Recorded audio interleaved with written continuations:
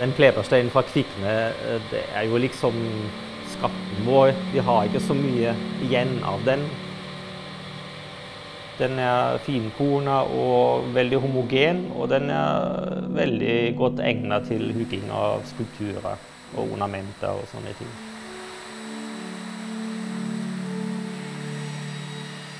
Og så har den så bra kvalitet at vi, vi, tar godt vare på det, og vi bruker det bare til de fineste billedhuggeroppgavene, egentlig.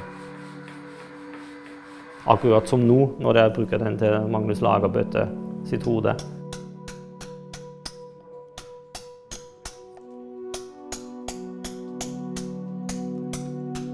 Nå bruker jeg en eh, mesel som vi kaller pikkmesel, med den eh, grov fjerne av steinmasse. Jeg har ikke så mye styring med den, fordi kraften går litt alle veier. Men den funker godt til å bryte ut større biter.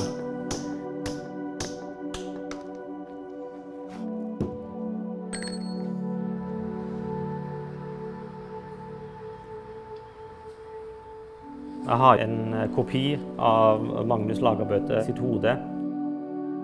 Modellen er jo en eh, kopi av en skulptur fra Stavanger domkirke fra sen 1200-tallet. Og så har jeg en apparat som kalles eh, punkteringsapparat, som jeg bruker å overføre masse referansepunkter fra modellen til originalen. Da ser jeg hvor mye stein det er igjen som jeg må fjerne. Vi er egentlig ganske privilegert at vi kan hugge akkurat på samme måten som de gjorde på 750 år siden. Bruke akkurat samme verktøy som han steinhuggeren som hytten Magnus Lagerbøte den gangen. Det er jo en fin tanke å tenke.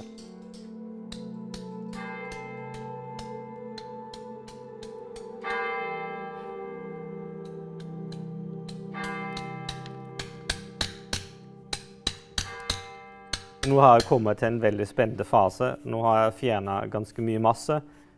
Nå begynner han kong Magnus å se på meg. Figuren kommer ut av steinen, så du ser ansiktstrekkene.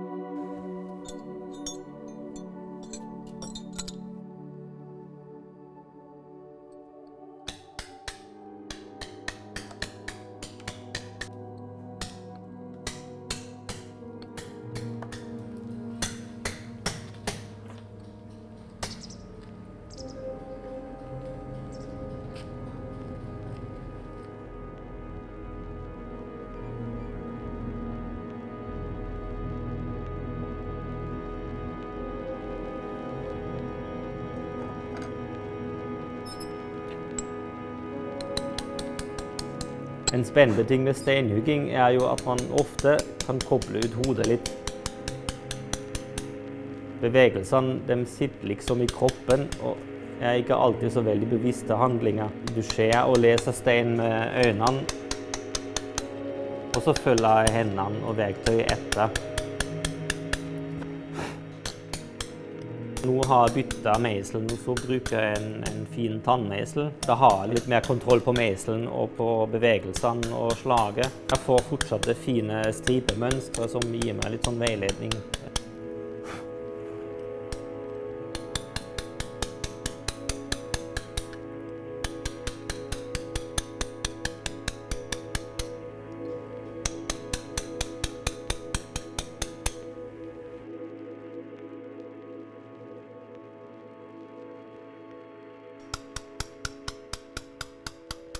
Nå bruker jeg jo eh, flate og runde meisler i forskjellige størrelser og fasonger for både glatte ut, det er hugd med tannmeiselen fra før, men også for virkelig gå inn i detalj.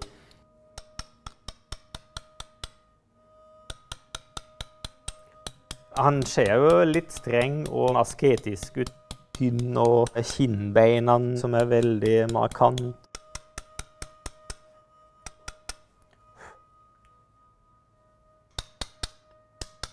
Han var jo en ganske rettferdig og klok eh, hersker som eh, gjorde mange gode ting, bl.a. Eh, landsloven. Så han var sikkert ikke den utsvevende typen som drakk og spiste så mye, kanskje.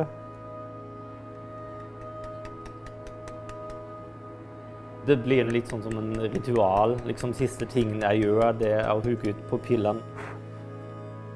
Da begynner han virkelig å våkne til liv og, og se på meg. Det er en veldig spennende øyeblikk.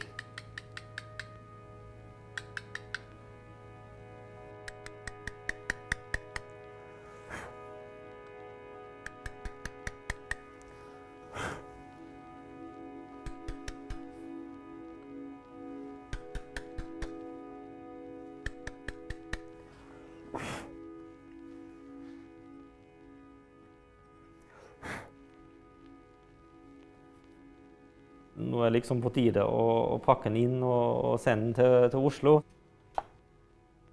Det blir nok litt vemodig, men det er en god følelse òg å være ferdig med den. Da kan jeg begynne på noe nytt og tenke på noe annet. Den har jo liksom tatt beslag av hodet mitt i mange uker eller måneder.